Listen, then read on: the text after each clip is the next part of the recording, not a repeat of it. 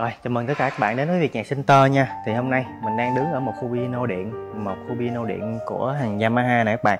Thì bây, đây, bây giờ thì ở đây dòng Yamaha nó sẽ có hai dòng cho các bạn lựa chọn nha.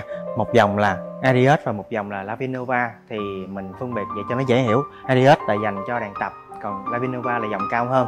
Đó Thì bây giờ ở đây mình có chân hai mẫu mà của hàng Arius là 103, một số 4 hai màu khác nhau luôn. Bạn nào có thời gian các bạn muốn test âm thanh các bạn cứ tới showroom của mình nha. Còn bên đây cái đây là cái khu mà mình để Grand piano ờ, dòng cao cấp của Yamaha mà mình mới bán rồi. Mình đang chuẩn bị hàng để trưng ra để cho các bạn có thể tới các bạn xem mà các bạn test thử âm thanh của nó.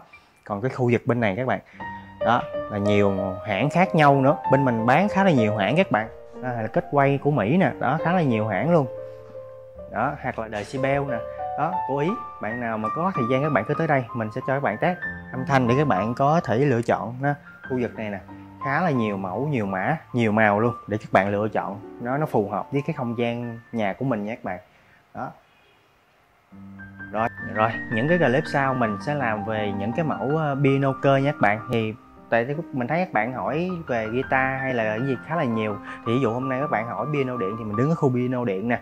Đó, rồi, bây giờ Ờ, mình sẽ quay cái clip piano cơ cho các bạn nha. Rồi cảm ơn các bạn đã xem video này của mình.